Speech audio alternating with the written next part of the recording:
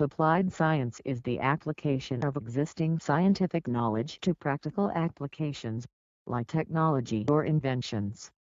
Within natural science, disciplines that are basic science, also called pure science, develop basic information to predict and perhaps explain and understand phenomena in the natural world. Applied science is the use of scientific processes and knowledge as the means to achieve a particular practical or useful result. This includes a broad range of applied science-related fields from engineering, business, medicine to early childhood education.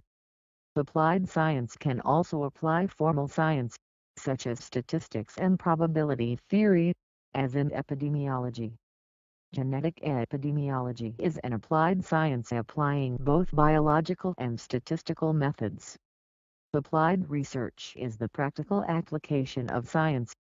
It accesses and uses accumulated theories, knowledge, methods, and techniques for a specific state, business, or client-driven purpose.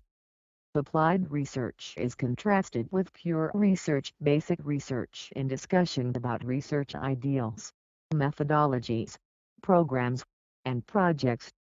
Applied research deals with solving practical problems and generally employs empirical methodologies.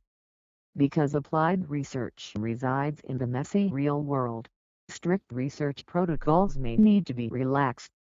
For example, it may be impossible to use a random sample.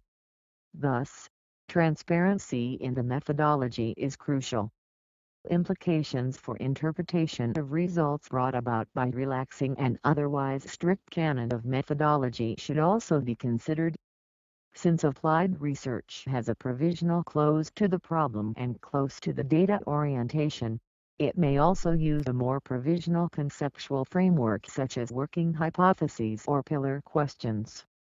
The OECD's Frascati manual describes applied research as one of the three forms of research, along with basic research and experimental development.